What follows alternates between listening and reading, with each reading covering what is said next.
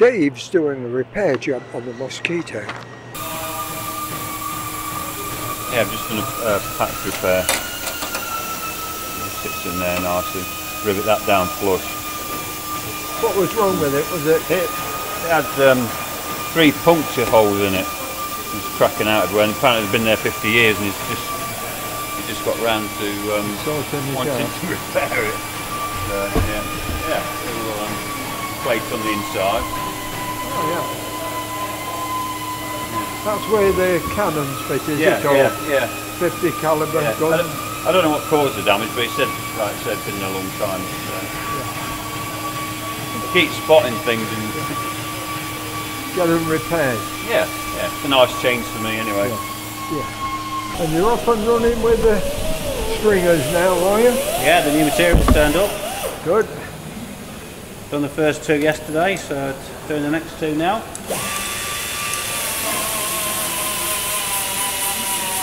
So I've got the two, I've got the first two floor ones in. Have you had some painted as well? Yeah, I've got quite a few painted now. Got another five into the paint today. Oh, good. It still needs drilling out to the next size up. Yeah. Yeah, But they've got the pilot holes in. yeah. Yeah, they're all they're all they're all going to be at 2.4, and then when we get the skins on, we'll drill them 2.4 Drill out outboard to the skin, and then go back 3.2 the other way. Eventually. Morning, Keith. Morning, Ed. You Right. Yes, thank you. Are you? Yeah, apart from being past the freezer. You've got your bottom stringer in that part oh, what now. this straight, yeah. Yeah. That's, uh,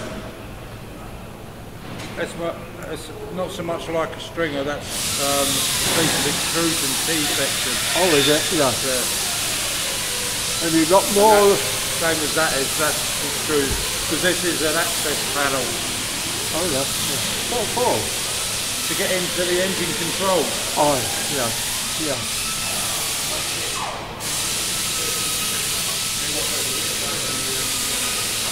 Will you be able to rivet that skin on as well?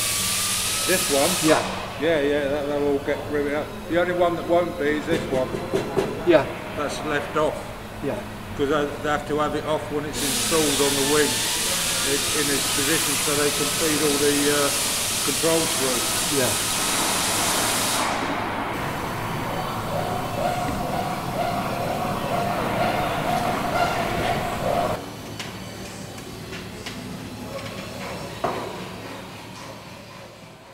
This is the French wing NX 664.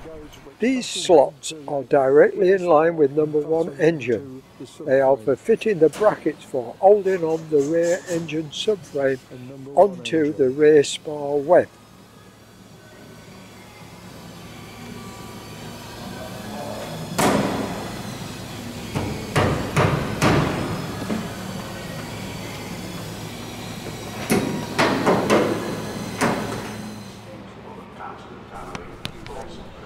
Just Jane NX611 it fits in these slots but has been already been removed. I'll try to locate it so we can have a look at it.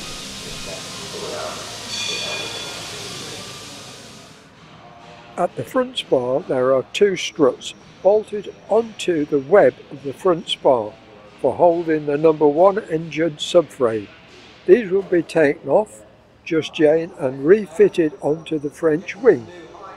All fittings for the subframe from the French wing were missing or damaged. The two front subframe struts either side of the red semicircle.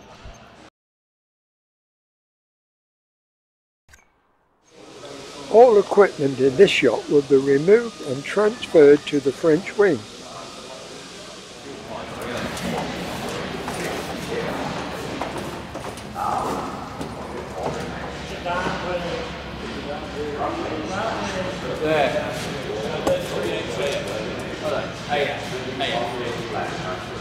Surveyor stuff in the These are three subframe bolts.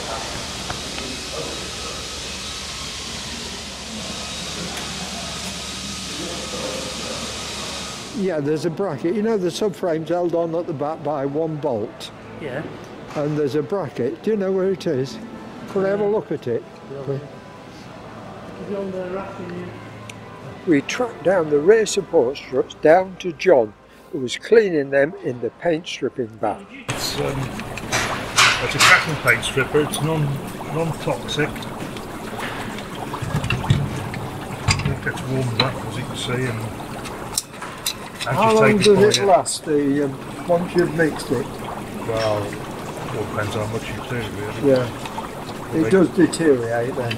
Oh yeah, yeah. But the, the company come every now and again to actually change everything. Oh, well, that's good then.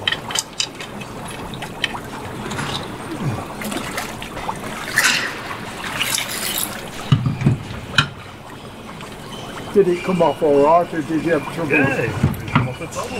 Apparently. Because that'd be a few years since that's been taken off, hasn't Yeah. Well, access isn't brilliant? No. because you've got you've got an access panel on the side, a little round one. Yeah. which is big enough to get your arm in, but the, pan- but, but the backing plate which holds the anchor nuts on isn't big enough to get your arm in. But There's another big one next to it, you, you can you can reach in. It's all feel like you can't really see what you're doing.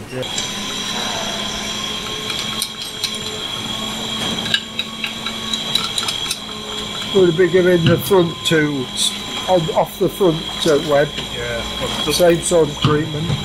well, the back one on the French one is is, is corroded through here. Oh, is it? Yeah, That's new. absolutely corroded through. The front ones, the mounting holes, one, one's bent over Yeah. and had the remainder of a bolt in it. The other one's actually pulled through. So I don't know what's happened there because that's the wing which wasn't on the ground. It was a starboard wing, then yeah, it was ripped it off as when the engine hit the ground. Let's uh, get into an interesting part of things moving along now.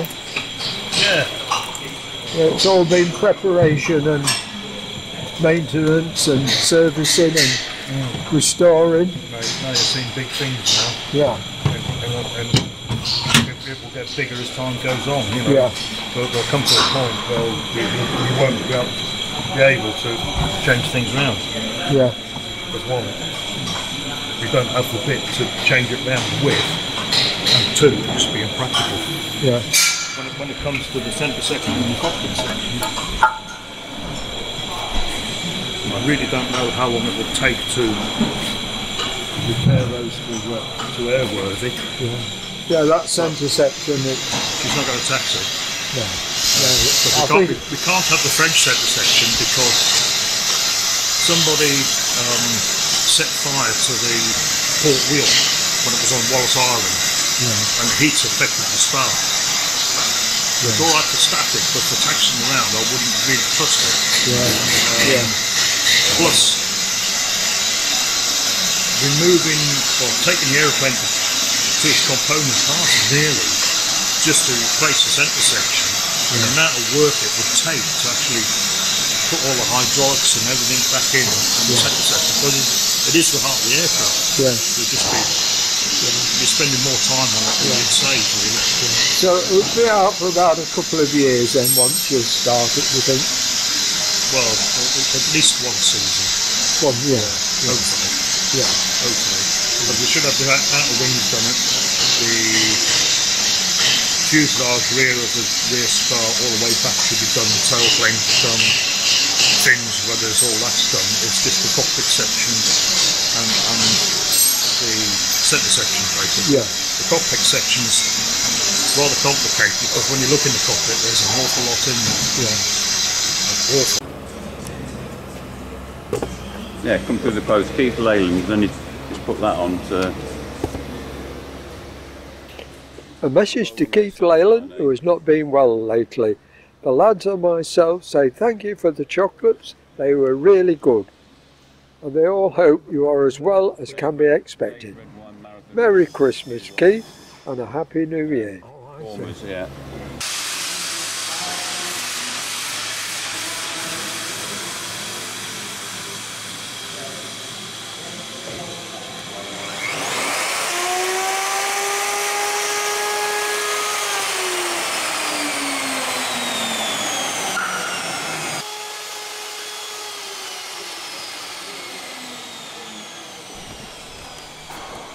Dennis is making the formers for the trailing edge, while Dave cuts out the wooden pattern for making the last of the short formers above the tailplane in the fuselage.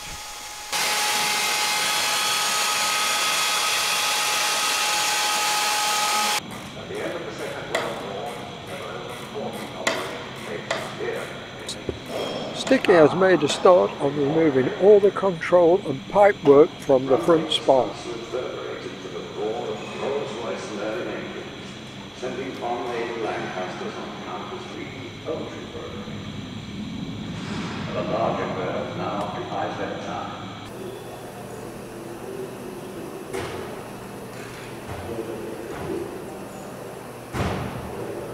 Friday, the 1st of December 2023. Keith's getting ready to leave. I spoke to him just before he left and he said he's only got a few more rivets to go in and the fuel bay covers then will have to be sorted out. The long skin at the top left will be fitted when the engine boys complete their task of fitting the engine control and pipe works which run inside the leading edge former.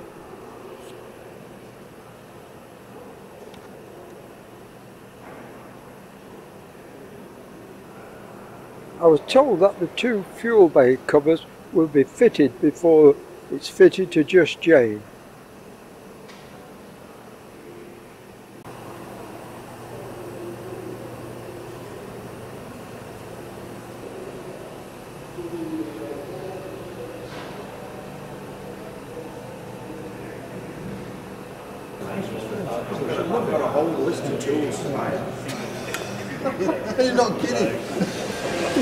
Better picture of the door, which Keith's got to sort out. But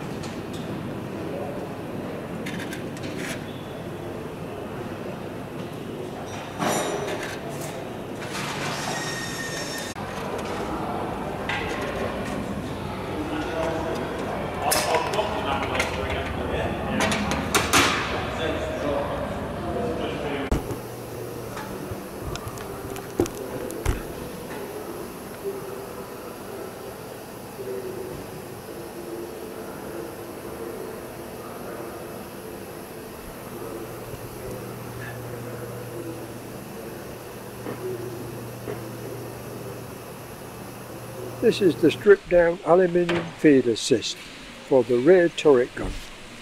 So this Meccano set is what for? The what I was filming the other week then? Yeah, this is the, uh, the, the 50 cal guns of the rear turret, the Lancaster. It's the uh, ammo feed assisters. That's right. So they look like that when they're together. Yeah. And it looks like this when I'm taking it apart. they kind of, um, yeah, drag his ammunition into the same thing to the gun. Yeah. So we're just trying to get it all stripped down nice and clean, resprayed and then uh, put back together again. So yeah, quite a few bits. Is it showing wear on there or is it just Um, to be fair, it, it's it's in quite good condition. So things like all the bearings, they're all they're all in really good condition. Um, so all the- some of the internal gears, which are brass, are still um, still very good. So I mean, to be fair, th- th- this was this was late um, a late produced unit anyway, so it wasn't used in anger. no? Um, so it's just been sat. Um, but even so, it- it's, it's, it's um, I think it's worn pretty well. Um, so yeah, just trying to. It's always a case of deciding how far to go. There's, things like there's, there's an electric motor which feeds it. Um, but obviously, in this case, we're just going to make sure it's clean and then put back together. We don't need to get the motor running because we're not going to be using it to No. from it. So it's just make sure that everything looks looks right um, and will last many many years. Yeah. know, as opposed to being in that state where it's um, yeah, it's, um, looking a bit sorry for itself. Oh, good. Yeah, keep keeps them busy. Yeah. Very interesting. Yeah, it is. It's nice to get it all apart and see see how, how it all works. And, yeah, when you, it's such a simple thing to do to get ammunition from here to here, Yeah. you end up with a quite a relatively complicated piece of kit, but yeah, but very very effective. Very effective. Right, thank you, Randy. Um, Sticky has found there. damaged finger in one of the Merlin engines. comes This will have to be a pad replacement from a chrome These ones haven't plated got pad to a Are they all tungsten chrome, pad. all these cams? Yeah. These one, this one is, yeah, and it, it's got um, a plug in the end rather than the grub screw. Yeah. Um, so normally the grub screw's in there, so it allows the gases to escape when the braid's in the, Yeah. the little pad light. But yet again, I've got another. So these are all chrome. You never mix them up like. Um, you can do, Yeah. you can do, but um, it depends on what we've got in. Yeah. try to keep um, because I've uh, not had to do this. I've measured all this, and this is all correct. Yeah. But because um, it's just those end four or those end eight, um, hopefully we've got another similar one like that. But what I tend to do is measure the, the width of that, Yeah. and hopefully get one that's roughly about the same. Because otherwise, you have to put it back together again, put it back on, measure it again, and see Yeah. if there's any differences. Because sometimes you can get a So A shall we say that's a left-hand one? You can fit that in an, any position.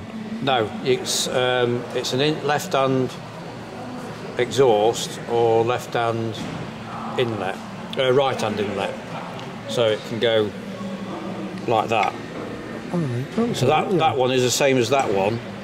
It's just that one opens and closes the exhaust. That one opens and closes the inlets because the inlets are, are far away from you. Yeah. So yeah, same as um, that one there like that. I see. Yeah. yeah. Oh, good. Right, Sticky. That's a bit interesting. Thank you.